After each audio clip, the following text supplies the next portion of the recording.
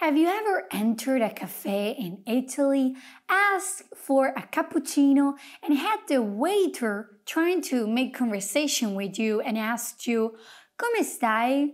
No? Well, you should make sure that doesn't happen anyway. In fact, you might know that most Italians are pretty friendly and like to speak a lot, so this could happen anytime you meet someone in Italy. I am Giada from FluentU Italian and in this video I will show you 10 easy Italian phrases that us Italians use in our everyday conversations and that they will help you feel more confident while starting your Italian learning journey. Number 1. Piacere di conoscerti.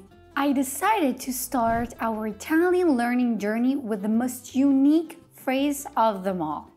Since I'm also a new face here on the FluentU YouTube channel and we haven't met yet, I also want to tell you piacere di conoscerti. Nice to meet you. As you can probably imagine, piacere di conoscerti can be used when you meet somebody for the first time and you want to be friendly and polite.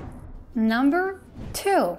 Ciao, buongiorno, buonasera. But what if you wanted to greet somebody that you might or might not already know? Well, then, ciao is what you'll need to say. It is very colloquial, so you could use it, for example, with your family and with your friends. If you want to be a little bit more formal while talking to somebody who might be older than you or on a higher position than you, like your boss, for example, well, then you should say buongiorno. It literally means good day, but in English it's pretty much the same as good morning. When we are leaving our friends and family, we will simply say ciao.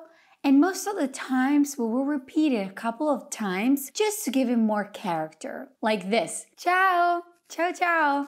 On the other hand, when we say bye to our boss, we will use a more formal expression, which is arrivederci. Arrivederci is more polite and formal. Number 3.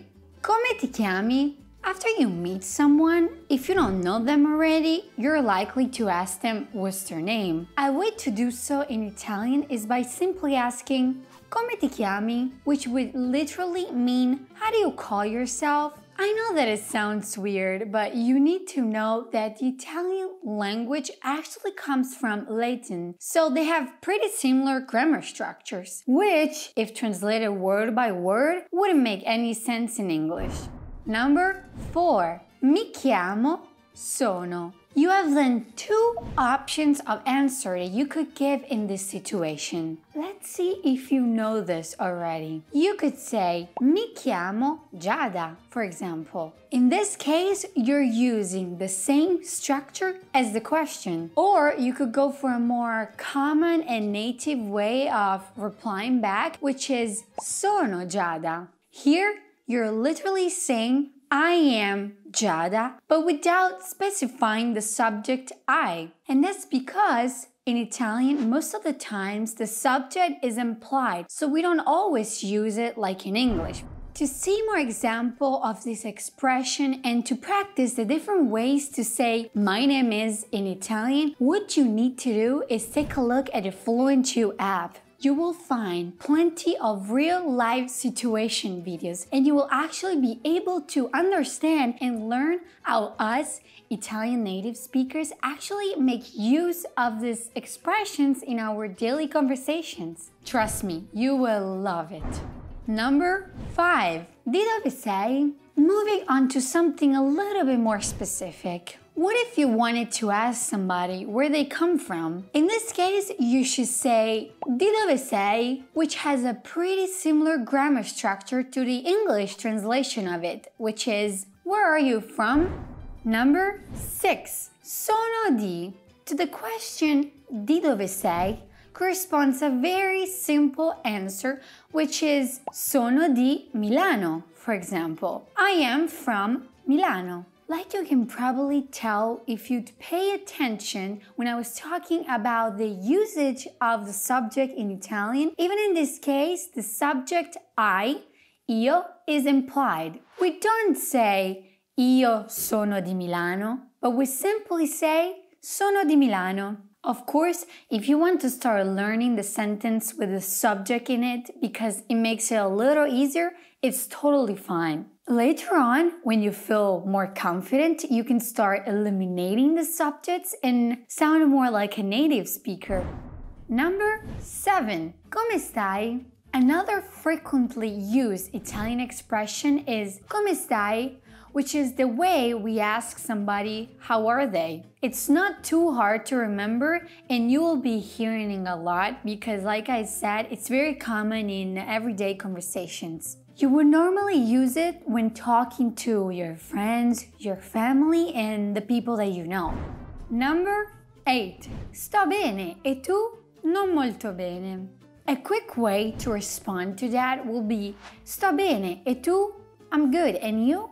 In this case, we also have an implied subject, I, because the whole sentence would actually be Io sto bene e tu? Like I told you, it's totally up to you to decide whether you already feel confident enough to get rid of it or not. But what if you're actually not doing good and you just want to be honest about it? Well, in this case, you should use the expression non molto bene, not very good. If you feel a little overwhelmed, I totally get it. And that's why FluentU wants to help you in your learning journey and offer you a free FluentU PDF with all the expressions that we've seen together today. It can be yours by simply clicking on the link in the description box.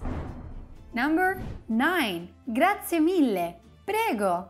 This next Italian phrase is probably the second most known phrase after ciao. I'm actually talking about grazie mille, which is the Italian translation of thank you very much. Together with grazie mille goes prego, which is another courtesy expression used to say you're welcome. Now, if we translated prego into English, it would be something like I pray, which of course doesn't make any sense. So, this is another example of how, when learning a new language, we shouldn't make the mistake of trying to translate a sentence word by word because it's simply not to work out. We should rather learn the structure of the language and sometimes remember some expressions by heart when it's the only way to remember them. Number 10. Mi dispiace. Scusa.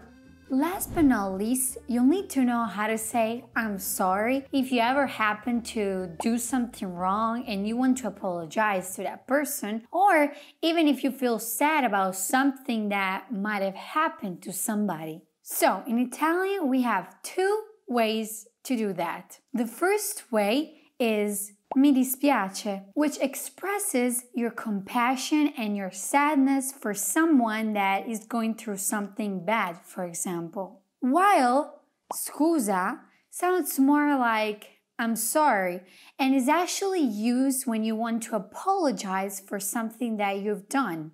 For example, if your mom asked you to set the table for dinner before she'd come home from work and you forgot about it, which is a really typical Italian situation, then here you would say, Scusa mamma, I'm sorry mom.